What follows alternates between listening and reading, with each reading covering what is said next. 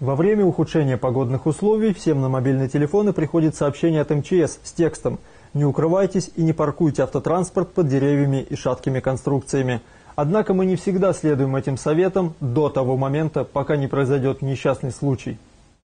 Александр Филатов проживает в доме номер 12 по проспекту Ленинского комсомола с 1971 года.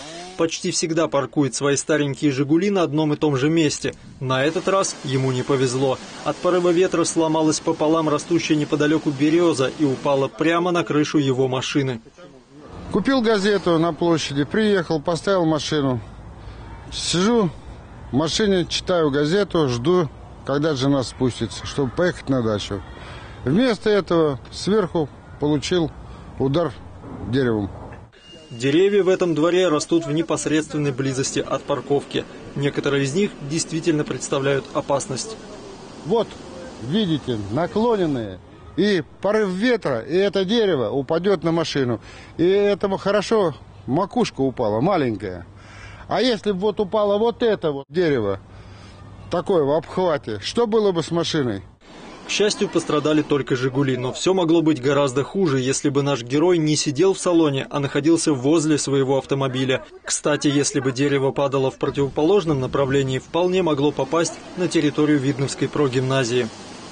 Постоянно вот дети у нас живут, бегают здесь и гуляют. Если упадет дерево на ребенка, может несчастный произойти случай. Надо все-таки деревья проверять, какая-то должна быть служба. И если дерево под подозрением, что оно может упасть, лучше его спилить, потому что это опасно в первую очередь для жизни. На место была вызвана бригада сотрудников Дорсервиса, которые оперативно устранили проблему. Упавшая часть дерева была распилена, а оставшиеся висеть на проводах ветки убраны. Дерево вот это устранили, то, что вот на машину упало. А дальше владелец этой машины, он должен обратиться заявлением к, к своему участковому, чтобы там дальше уже проблемы решать. Характер ветреной погоды в ближайшие дни сохранится, так что будьте внимательнее и осторожнее. Дмитрий Книга, Александр Будников, Елена Кошелева, Видное ТВ.